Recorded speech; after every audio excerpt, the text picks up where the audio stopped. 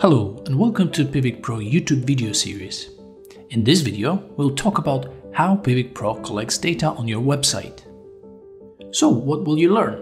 You'll learn how to start tracking data on your website, how data is being collected, how the process of data collection shapes data reporting.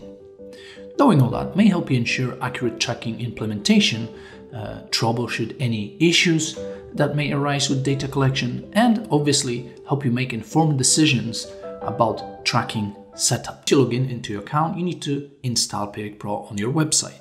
To do that, you need to go to the administration tab. So click on the menu, go to the administration tab.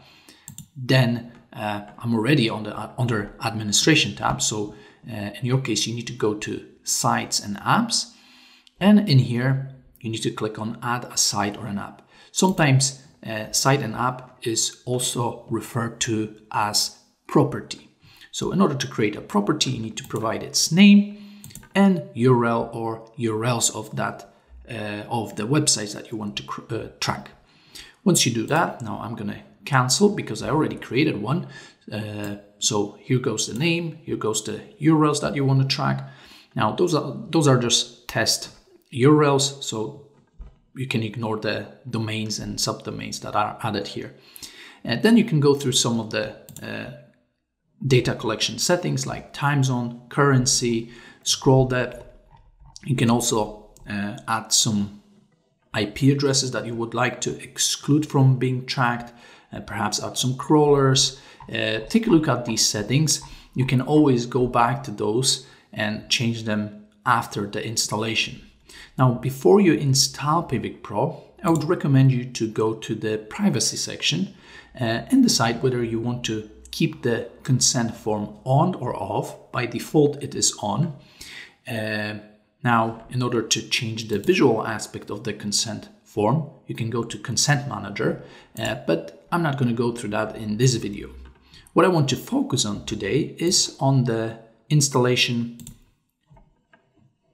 code, the container code.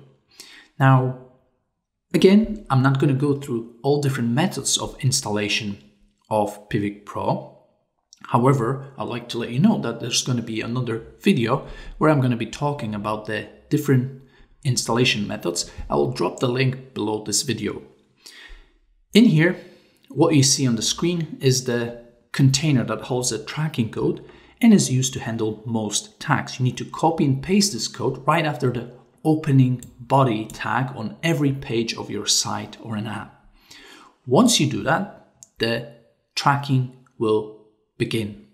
Once you install Piwik Pro on your website, you can test if the tracking uh, is working uh, properly by going to the analytics, then settings, and under tracker debugger. If you see some interactions here, that means that uh, there's a good chance that the tracking is working uh, properly. Now, presuming that you do have some traffic on your website, uh, if not, you can always go to your website by yourself and check if your interactions are coming through in a tracker debugger. Now, presuming if you haven't excluded your own IP address from being tracked. Now, on the reports, after some time, more, more, or less uh, after 30 minutes from the installation, you'll be able to start uh, seeing some data coming through. So you'll be able to see the number of visitors, sessions. Uh, if you go to location or device and software reports, you'll be able to see some data here. Uh, things like channels, things like um, pages report, internal search, outlink, downloads. Uh, those are all an examples of interactions that should be tracked out of the box for most websites. Should you wish to start tracking additional interactions that are not being tracked out of the box, you can always go to Tag Manager and under Tags you can begin adding new tags. You can add things like custom dimensions, custom events, goal conversions, e-commerce if your website is an e-commerce website,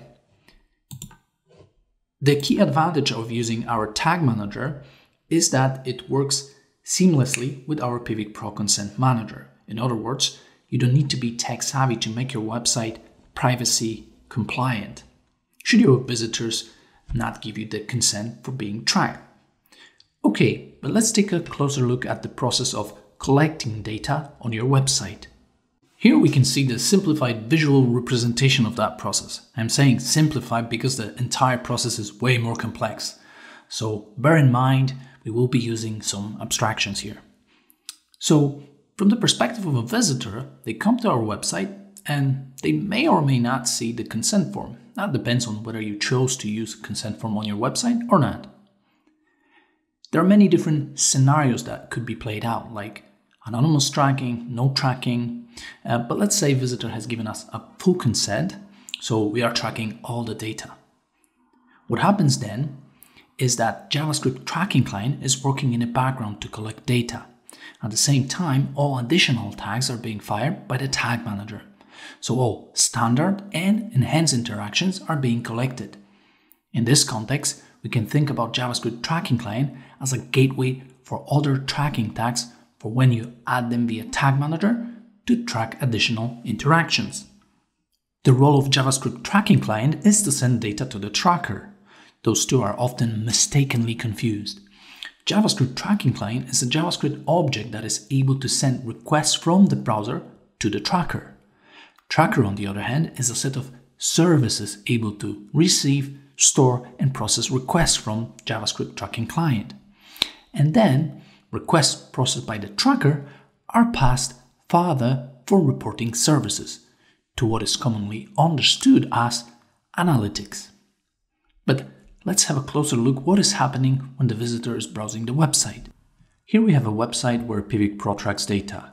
If we go to DevTools of the browser and then go on to Network and here in the filter type in ppms.php, if we were to refresh the page, we will be able to filter HTTP requests that JavaScript tracking client collects via browser and then sends it to the tracker. So let's take a look at one of them. So if I were to click on this one and click on this view, I can see that request.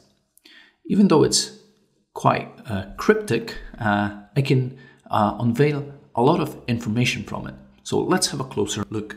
From that very request, we can decipher a lot of interesting information, things like site or app ID in Piwik Pro. So that refers to the property uh, by which Piwik Pro tracks data on that very website.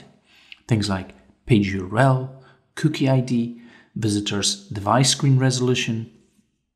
Obviously, all this data is supplemented with the information retrieved from the browser, like user agent, which holds information about the browser and device of the visitor, IP address from which the request came from, and so IP address of the actual visitor uh, of the website.